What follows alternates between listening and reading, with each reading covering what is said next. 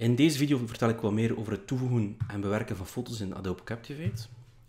Uh, dat kan via Media, Image, dat is de makkelijkste manier. En ik ga eerst een foto toevoegen die ik eigenlijk gewoon rechtstreeks, zoals ik die uh, genomen heb, uh, met originele verhoudingen en dergelijke meer, die ga ik toevoegen. En dan ga je merken, mijn project is 1024 op 760, maar mijn foto's die zijn hoger van kwaliteit. En dus mijn foto is veel groter dan mijn scherm. Dus als ik uitzoom, zie dat die foto groter is dan mijn uh, project. Nu, ik kan dat heel makkelijk uh, aanpassen. Daarvoor ga ik naar Properties. En ik klik op Fit to Stage. En dan gaat de foto zich aanpassen aan... Dus in dit geval gaat hij de breedte uh, even breed maken als mijn project. Hè. De hoogte is dan iets minder. En dat kan je zelf nog... Hè, ik kan weer eventjes mijn scherm wat groter zetten, best fit. Dat kan je zelf nog uh, je houdt de shift-knop in om de foto gelijkwaardig uh, kleiner te maken. En dan kan je de foto gaan herschalen. Dat is één manier. Hou je de shift-knop niet in, dan kun je dit krijgen. Dus hou je shift-knop ingedrukt als je gaat gaan bewerken. En dus hier heb ik dus mijn foto. Nu zou je zeggen van, perfect, ik kan die gaan herschalen. En toch raad ik deze manier van werken niet aan. Ik ga je uitleggen waarom. Um, ik ga eventjes aan mijn library.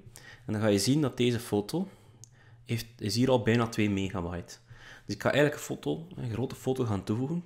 Als ik heel veel foto's ga toevoegen, en in een project heb je snel meerdere foto's, en je gaat die allemaal gaan verkleinen, dan is dat telkens 2, 3, 4 megabyte. Hè, want dit is een zwart-wit foto, daardoor is die nog kleiner. Ik heb foto's van 4, 5 megabyte, 6 megabyte. Als ik die allemaal ga toevoegen, zonder te comprimeren, dan gaan die eigenlijk uh, mijn project veel, veel te zwaar maken. En meestal ga je Captivate-projecten uh, gaan delen online.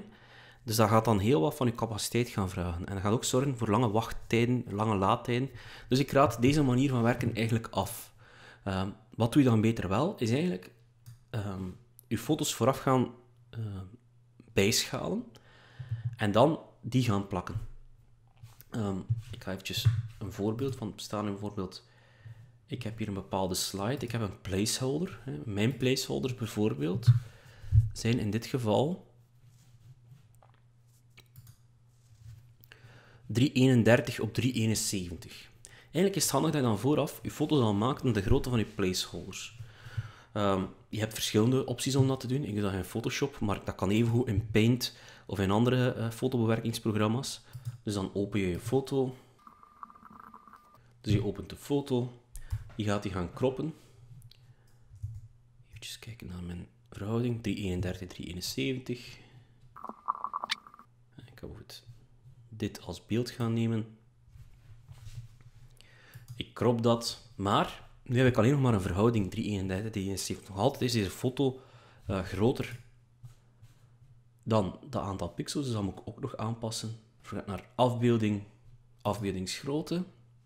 En ook daar ga ik het gaan aanpassen. Dus 331, 371. Op die manier, kijk, mijn foto was um, ehm, 10 megabyte, die is nog 360 kilobyte over. Dus die is veel kleiner gemaakt. Ideaal voor mijn project. Ik ga die nu natuurlijk opslaan als, dus niet mijn originele foto gaan verwijderen, maar ik ga die, en wat ik zelf dan doe, als ik een project heb, ik heb mapjes met, uh, ik doe dan, dan bijvoorbeeld de map 331, 371, dus ik maak mapjes met, mijn, met de grootte van mijn placeholders, als ik verschillende grootte van placeholders, dus ga ik dat in dat mapje gaan zetten. En meestal ga ik dan ook in mijn naamgeving ook nog een keer, zodat ik het helemaal weet,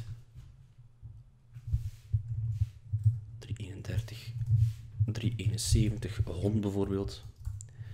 Ziezo. Ik bewaar die. Oké. Ik ga terug naar mijn Captivate uh, project. En nu als ik hier een foto ga toevoegen, image. Ik klik op import, ga naar mijn map 331, 371 en daar vind ik mijn foto. Voilà, ik heb die toegevoegd. En als je gaat kijken, die is veel kleiner qua bestandsgrootte dan die originele foto. dus dat is een veel makkelijkere manier en veel betere manier om eigenlijk foto's te gaan toevoegen. Dus onthoud, als je in Captivate foto's toevoegt, het beste is dat je die vooraf in een ander programma uh, bijschaalt naar je placeholders. En we gaan later in een filmpje zien hoe we die placeholders kunnen maken. dus als we die gaan gebruiken, of stel dat je met een losse foto werkt, ga die ook gewoon gaan bijschalen naar een grootte die ongeveer de grootte weerspiegelt zoals je het gaat gebruiken. Stel, je gaat hem gebruiken in een project van 1024 op 768. Wel gaat misschien een foto gaan maken die, zoals deze, ongeveer 600 pixels breed is en maak die zo vooraf aan. Het is wat meer voorbereidingswerk, maar achteraf zal het u veel tijd besparen en zorgt ervoor dat uw project veel soepeler gaat lopen dan anders.